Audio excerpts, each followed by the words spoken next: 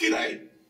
The typical school curriculum usually presents to students three different ways to think about division, how to interpret division in three distinct ways, and then balances between these three interpretations as though it's obvious they are equivalent. Now, I remember being very confused by this as a kid. I had no idea why they should be the same. And that's what I want to dig in today. Why are the three typical different ways to interpret division actually, philosophically, the same? So what are these three ways? So let's look at a concrete example. Let's look at 12 divided by 3 equals something. Let's work out that division problem. So one interpretation is division by groups. You can ask, how many groups of size 3 can I find among 12 objects? The number of groups you can find of size 3 amongst 12 would be the answer to that division problem. That's one interpretation.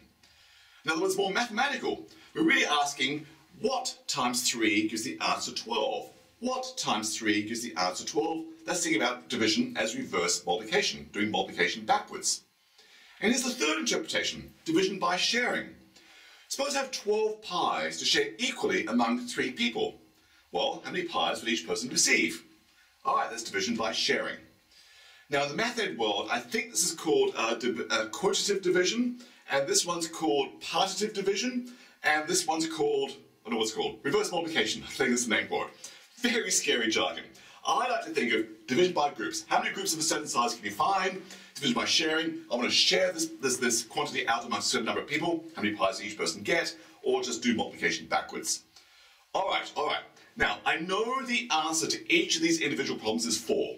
Um, that's not the issue to me. It's not about the answer, but philosophically, why should they have the same answer of 4? So let's think through this now. Okay, I'm going to go through them one at a time. So let's go with division by groups. If I really had to answer this question thinking just of group mentality, how many groups of size uh, 3 can I find amongst 12 objects? I'd answer this way. I'd look at 12 objects, 1, 2, 3, 4, 5, 6, 7, 8, 9, 10, 11, 12. There are 12 objects. And I'll literally try to find groups of 3. How many groups of 3 can I find? There's one there. There's one there. Woo! There's another group of 3 here. And a group of 3 here and bingo, all 12 dots are used up. I see there are four groups of three amongst those 12 dots. Okay, great, great. So my, my face is all spotty now. I'll see if I can stand to the side. All right, so there is a picture that answers the uh, uh, division problem if I'm thinking about division by groups. But here's the lovely thing. If I look at this picture, I can also see it's really four groups of three. Four groups of three. That's repeated addition. I've got three, three, three, and three. We call repeated addition multiplication. So I could actually interpret this picture also as a picture of four groups of three making all 12 dots. That is, I've just answered the division problem by thinking of reverse multiplication. So this one picture right now can be interpreted as division by groups and it can also be interpreted as a multiplication problem. Therefore, if I've got two different questions coming from the same picture, then they must have the same answer 4 in each case.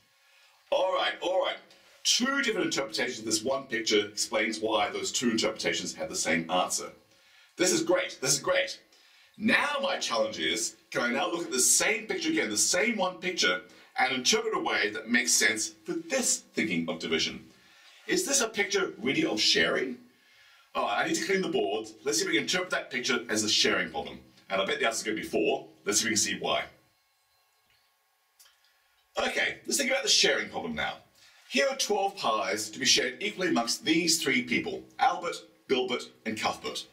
All right, now let's think about how would we physically go about sharing those pies. Well, one method would be kind of a little tedious, but you could do it.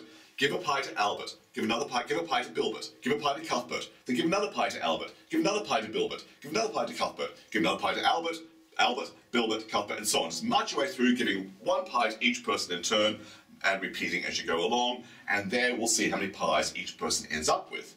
That's one absolutely fine method of sharing, a little tedious, but you can do it. Another approach would be, and say, hmm, let me see if I can be a little more organized. I know I'm going to need three pies for each person, so let me organize my pies into groups of three. There's a group of three, there's a group of three, there's a group of three, there's a group of three, and I bet you know where I'm going right now. Because now that I have my pies organized in groups of three, I will give Albert one pie from this group, Bilbert one pie from that group, Cuthbert one pie from that group. And I'll do the same here. Albert gets one pie from here, Bilbert one pie from here, Cuthbert one pie from there. Uh, Albert, Bilbert, Cuthbert, Albert, Bilbert, Cuthbert. Arrange my groups, arrange my pies into groups of three, then just give each person one pie from each group. And as there are one, two, three, four groups, that means each person's getting four pies. The number of pies each person gets matches the number of groups in this picture, which is the picture I had before. Whoa! The sharing uh, interpretation of division is indeed counting the number of groups of three I can find amongst those 12 dots, if I interpret it this way. That, that's the link, that's the key, that's beautiful.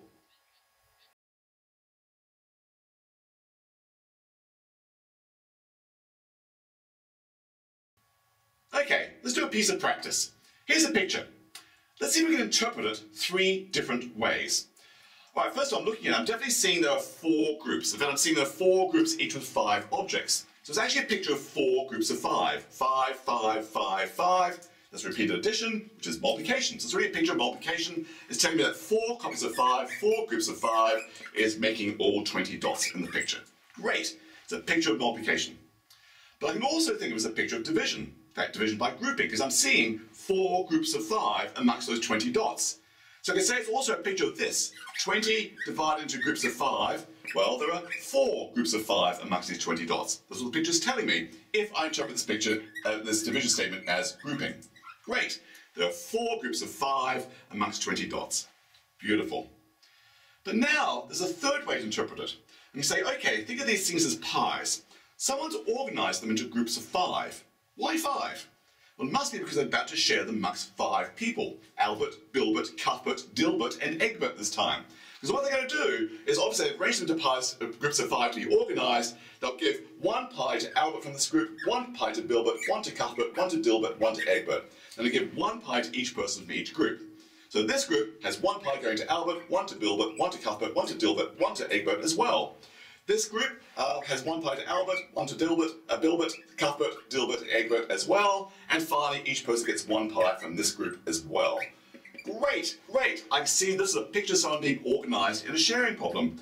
And now I can see because there are actually four groups, A, A, A, A, Albert's getting four pies. So actually, if I share 20 pies equally amongst five people, each person's getting four pies. It's a picture of a division statement that's thought about sharing problem this kind, in, this, in this case. Beautiful, there it is. Three different ways to interpret this one picture. Because it's one picture, all three interpretations must have the same answer. This explains why the number four keeps reappearing because it's all coming from the same one picture. This is beautiful. The three different ways to think about division, as presented in the school curricula, are indeed equivalent and it'd be just absolutely thrilling and fabulous and wonderful to share that discussion with students.